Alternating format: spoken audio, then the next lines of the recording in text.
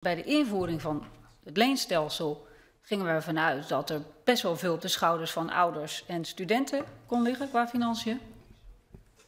En vandaag zetten we dat toch ook een beetje recht. Ik ben heel blij met de biecht van mevrouw van der Laan. En ook uh, dat ze spreekt over tot inkeer komen. Ik vind dat, uh, dat, dat hartverwarmend.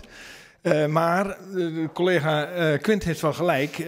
al die punten die nu aangevoerd worden van ja, de maatschappelijke omstandigheden enzovoort, die zijn allemaal veranderd. Ja, maar dat is toen al voor gewaarschuwd. En uh, dwars daartegenin heeft toen D66 samen met GroenLinks vastgehouden aan de steun voor dit plan. Um, als mevrouw van der Laan dat op zich laat inwerken, welke, nou laat ik dan een stapje verder gaan, welke les trekt ze nu uit deze gang van zaken? Pardon.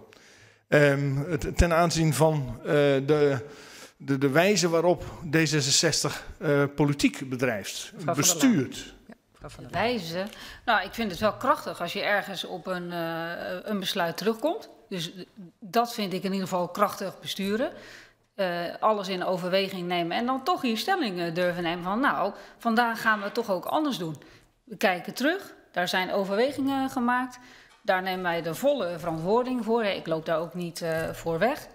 Uh, het heeft niet uitgepakt zoals we het misschien hadden willen. Wat ik daar nog meer van meeneem is dat, benoem ik toch weer die driehoek die ik net ook heb benoemd. Als je het hebt over het ontwikkelen van jezelf door middel van onderwijs, van studie, dan heeft de overheid daar ook een bepaalde rol in. En die verantwoording nemen we vandaag, in ieder geval in financieel opzicht. Ja. Heer Bisschop. Voorzitter, ik uh, heb ook mijn waardering ervoor uitgesproken dat, dat die stap gezet wordt. Uh, het is een, een, een, in vergelijking met uh, andere fracties een wat late inkeer. Maar uh, we zijn heel blij dat het, het zover is. Maar um, ik hoor, en ik vraag dat met die achtergrond. Ik hoor sinds de, nou ja, de nieuwe samenstelling van de Kamer. hoorde ik D66 voortdurend spreken over nieuw leiderschap. En doorpakken en al dat soort zaken. Waarbij op een aantal dossiers de uh, het, het, draagvlak, het zorgen voor democratisch draagvlak, in het gedrang komt. En dat is eigenlijk de achtergrond niet per se op dit dossier, maar ik zou me kunnen voorstellen dat D66 dan ook eens in de spiegel kijkt en zegt van ja, wacht even. Dan moeten we misschien op die dossiers ook wat voorzichtiger zijn. Voordat wij na een jaar of vijf, zes in de spiegel moeten kijken en zeggen van... jongen, jongen, wat hebben we voor schade aangericht? Uh, mag, ik, mag ik zoiets uh, van D66 vragen? Of U mag vraag ik dan te veel? altijd van de uh, zorgvuld verwachten. Hè? Dus de, die, die feedback neem ik graag mee. Je moet, maar ik denk dat iedereen in de Kamer zorgvuldig kijkt naar, naar besluiten die we nemen. Dat we besluiten anders nemen of daarin anders besluiten, dat is een ander verhaal. maar een meerderheid van besluit, dat is ook democratie.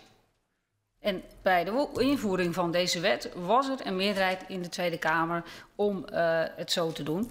En dat legitimeert natuurlijk ook wel gewoon het besluit. Dus ik hoop dat de SGP dan ook in ieder geval aan de andere partijen zal vragen om in de spiegel te kijken. Maar ik kan alleen maar voor onszelf spreken dat wij altijd ons werk zorgvuldig doen. Dank u wel. Tot slot, heer Bisschop. Voorzitter, uh, natuurlijk mevrouw van der Laan heeft gelijk. Het is een meerderheidsbesluit. Ja, anders was het geen, geen, geen besluit geweest. Maar uh, wij zien hier uit deze situatie dat uh, dat besluit, dat is gewoon een, een deal gesloten. En dat is een verkeerd besluit geweest. Hè? Dat, dat hoor ik mevrouw Van der Laan ook zeggen.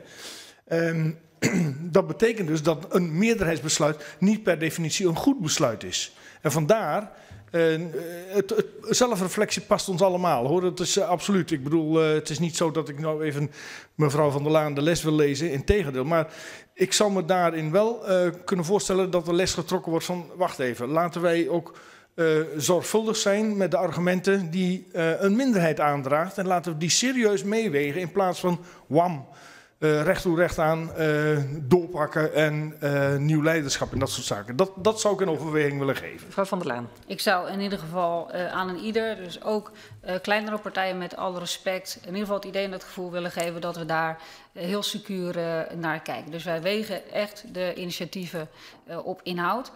Als laatste zou ik hier graag nog op willen zeggen is dat ik wel denk, want ik heb het over die maatschappelijke context, maar de rol van de overheid en de vraag hoe de overheid zou moeten opereren, is wel aan het veranderen. Dat was wel anders dan een paar jaar geleden. Als je kijkt naar het energievraagstuk en hoe men de roep is dat de overheid daarop moet uh, sturen. Als je kijkt naar de coronacrisis, laten we daar dat vooral alleen benoemen en er niet discussie over voeren. Maar ook op dit onderwerp, in welke mate de overheid financieel bijdrage levert aan, uh, aan de ontwikkeling van studenten. Uh, ja, dat, dat is wel echt een fundamentele vraag. Dank u wel.